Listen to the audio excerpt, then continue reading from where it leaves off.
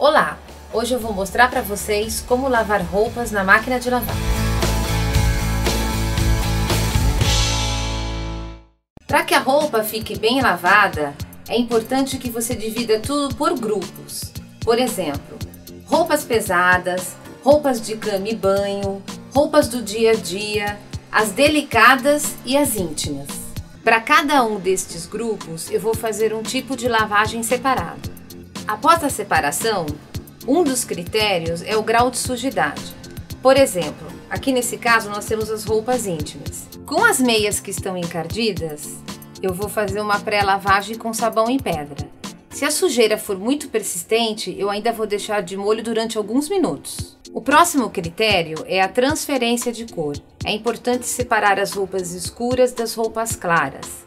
Além disso, verificar aquelas peças que são novas, que você acabou de comprar. Faça um teste antes, não lave tudo junto. Esfregue essa roupa nova com um pouquinho de sabão para verificar se ela está soltando cor ou não.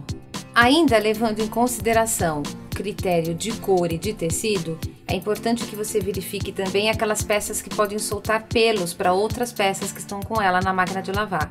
Então, use saquinhos protetores. Alguns cuidados especiais são importantes. Em relação às calças e bermudas, é importante que você verifique os bolsos, feche o zíper e os botões.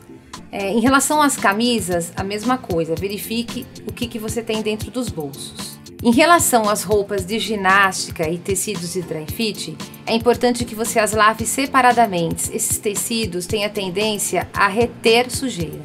Após a separação, Verifique o filtro da máquina e você já pode colocar as roupas para lavar. Não se esqueça de verificar se o volume de roupas está compatível com o nível de água da máquina. Uma última dica é sempre diluir tanto o sabão em pó como o amaciante antes de colocar no reservatório da sua máquina de lavar. E é assim que se faz para lavar roupas. E aí, gostou do vídeo? Se gostou, Clique aqui no gostei e não esqueça de deixar o seu comentário. Se você quer ver outros vídeos sobre limpeza e organização, clique aqui do lado.